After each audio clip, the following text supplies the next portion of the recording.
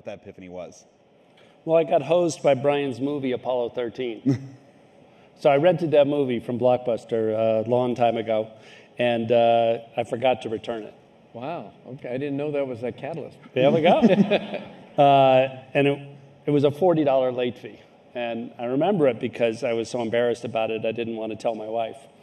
and uh, about a year later, my then company, I was running a tech company, got acquired. I was looking for something to do.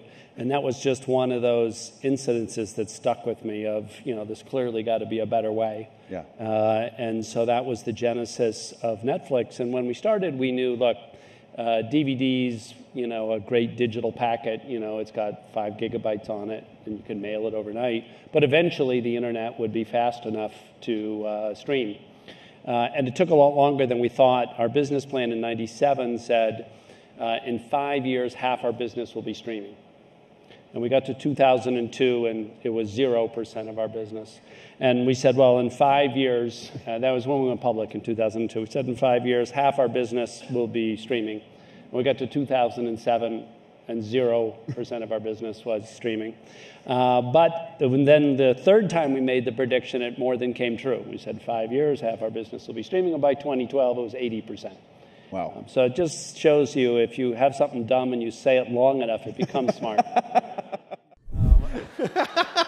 we're on, uh, you know, if you think of your industry, it was very stable for 200 years. Um, and the right thing to do for most of the both paper magazine, paper newspaper industry was just do a little bit better reporting, a little bit better mm-hmm. ad sales, right? Mm-hmm. Because the, the basic things were very stable. Um, and then, then, there's now this huge change in sure. your business for the internet. Um, that was true for us in the DVD days. In DVD days, I woke up and those kind of wow. This, this but so you feel very secure and hunky dory now. Now it's execution. It's how do we have, you know, the basic idea of uh, you all give us your money, thank you for that, and then it's up to us to turn that money into joy. And we have to do that better and better. And if we create shows that you love, you'll continue to pay us. And so we get up and think every day that we got billions of dollars that the customers are giving us, and we have to turn that into joy. Uh, and that's this movie and that show, and, and, and that's hard work, right? But that's our focus is to do that better and better. This company is, is a triumph or, or helpful. Could you tell us about that? Yeah, um, uh, my first company was a tech software company. Uh, started in 1990. It got acquired in 1997. Uh, and it grew very quickly, um, but very chaotically. And I always felt like I was half underwater. I was not doing a very good job as a manager. The products were really good, so the sales increased. But as a leader and manager, not very effective. What were and you doing wrong? I wasn't very honest. Um, I was uncomfortable about being honest with people, so I, I valued kindness very high and consideration, and there's that's a good value too. But ten, you know, uh, honesty is really important at work. So I'd be frustrated with you, and I wouldn't really tell you, mm-hmm. um, but it would of course manifest itself. Um, and it took me a long time to have the courage. Both to be able to be an example of honesty myself, uh, to receive it, to give it, to give it. And ultimately, of course, it, you know, obviously for all of you, you're probably sitting there thinking, of course, you know, how, why was that so hard? Uh, and I I think part of the reason was I had never led anything when I started the company. As you were kind of coming up, who were your personal heroes? Well, interestingly, in the you mentioned the startup Coherent Thought that I worked at um, when I was 28, and I worked so hard as an engineer writing code. You know, I was there every night, all night, kind of thing. How hard can you push? And, uh, you know, I would build up over time on my desk this kind of gross set of coffee cups. Um, and then, uh, you know, now and then the janitor would clean them all. And I learned that if I just waited long enough, I didn't have to clean them. You know, the janitor would do them. uh, and one morning I, I, came in really early to work, you know, five in the morning. Uh, and I walk into the bathroom, and there were all my cups um, being cleaned. And I looked up, and it was our CEO, uh, Barry Plotkin, who was cleaning them. And so, you know, it's early in the morning. I'm like, I'm trying to understand the situation because I see him there scrubbing away. So finally, I just asked. I was like, Barry, what are you doing? And he goes, I'm cleaning your cups. And I was like, Have you been doing it the whole years? Yeah. And I'm like, And you never said anything? No. Why? And he said, Well, you work so hard, and this is the only thing I can do for you. Wow. And I just thought, wow, I will follow this guy to the end of the earth. And that's exactly where he led us. so what happened is he was an incredibly charismatic guy that didn't have a good market product fit vision. And we built an incredibly elaborate product. And we ultimately sold one copy of it to one customer, and they never installed it. So, you know, it's like, it's a funny thing about leadership. You can be very personally compelling and high integrity, that's great, but you also got to lead people in the right direction, not into the Box Canyon.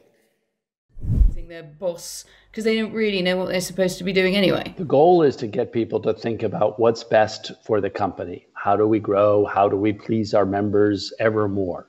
And we want people to be independent thinkers. We don't want them to ever hide anything from their manager but we want them to be thinking about how can we do things better. And that first principle thinking is what's helped netflix evolve through so many changes. Most of our industrial culture is not really focused on creativity it's focused on error prevention.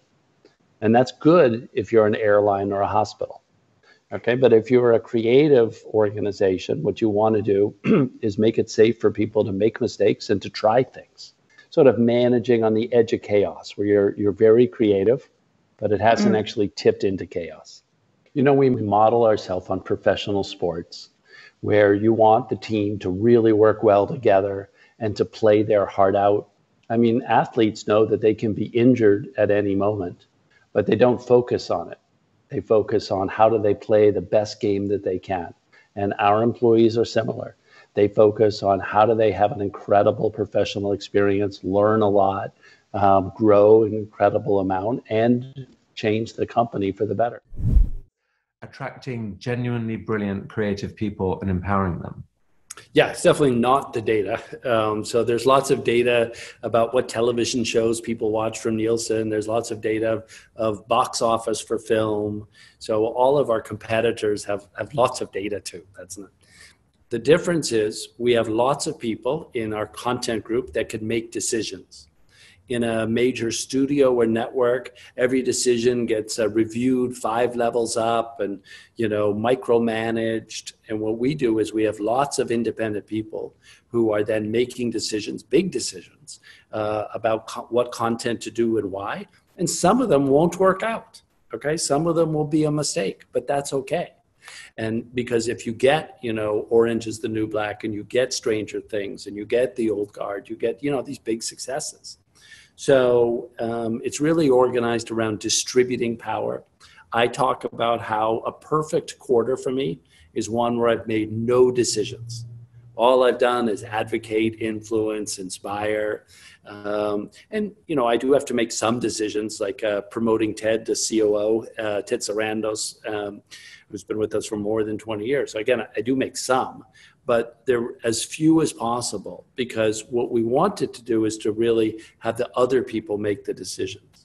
And um, again, th- that's worked extremely well in content because then we can attract very talented people out of CBS, um, out of HBO, because they get to make decisions and they get to run independently. The underdog anymore. How do you try and keep innovative? Oh, we are uh, so much the underdog. So, uh, our uh, content budget is about $3 billion. Uh, and uh, ZDF just here is 8 billion euros. Okay, and then you add NHK and BBC and NBC and Sky. And when you look at how much is spent on production around the world, we are such a tiny fraction of the global entertainment market. So, to answer your question, uh, when you feel successful, then you reframe the lens in which you compete so that you're always the underdog. I'm always thinking in the uh, scheme of history how small our efforts are. And I try to read a lot of history, and I think that keeps me grounded. Even though we try really hard, we're passionate about what we do, that in the long term, we're making, you know, still very incremental contributions.